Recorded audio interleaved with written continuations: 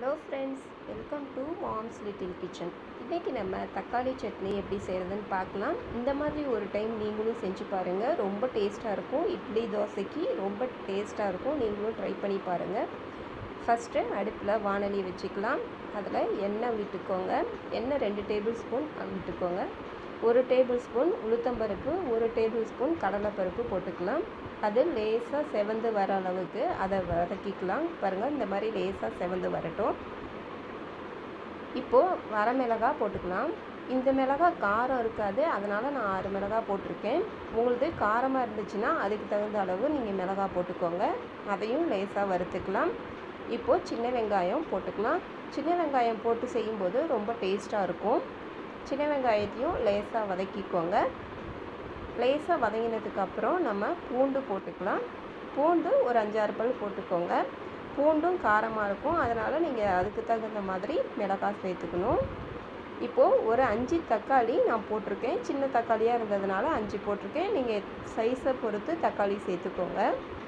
தக்காளி நல்லா வதங்கணும். கொஞ்சமாக உப்பு போட்டுக்கலாம்.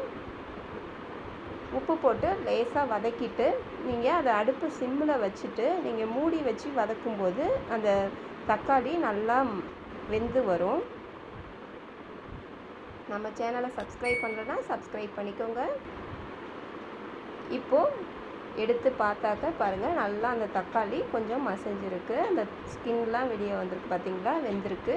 இப்போது இதை ஆற வச்சுக்கலாம். அடுப்பை ஆஃப் பண்ணிவிட்டு இதை கொஞ்சம் ஆற வச்சுக்கோங்க. ஆற வச்சுட்டு ஒரு மிக்சி ஜாரில் போட்டு அரைச்சி எடுத்துக்கலாம்.